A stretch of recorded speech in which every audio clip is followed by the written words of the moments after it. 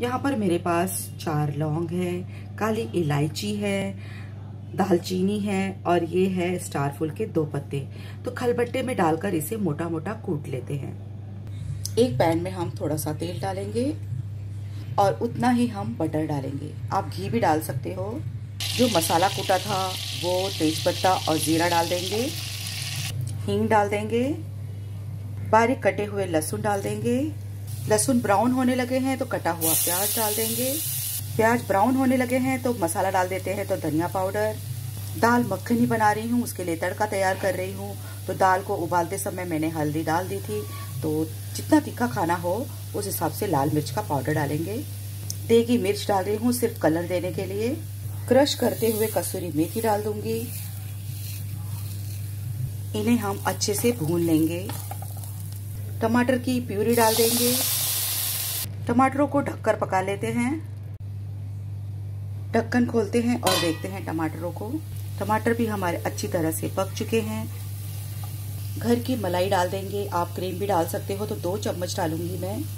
इन्हें भी हम अच्छी तरह से पका लेते हैं ढककर। ढक्कन खोलते हैं।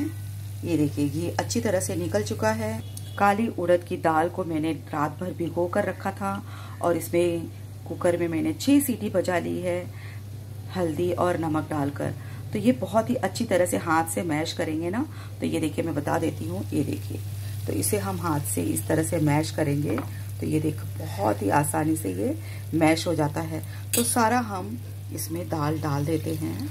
जब हम उसे हाथ में इस तरह से पकड़ कर दबाते हैं ना तो ये मक्खन की तरह गल जाना चाहिए। इसे हम कलछी से थोड़ा सा दाल को मैश कर देंगे जिससे कि ग्रेवी हमारी गाढ़ी हो जाए। ढक्कन खोलते हैं और दाल को देखते हैं। ये देखिए, बहुत ही बढ़िया टेस्टी दाल बनी है। घी मैंने थोड़ा कम डाला है, इसलिए थोड़ा सा निकला हुआ है। आप चाहे तो बहुत सारा डाल सकते हैं। घी, मक्खन, कुछ भी। ऊपर से हम हरा धनिया डालेंगे।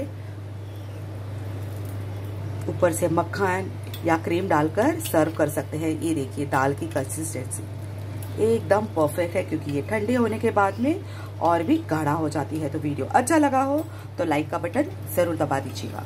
Thank you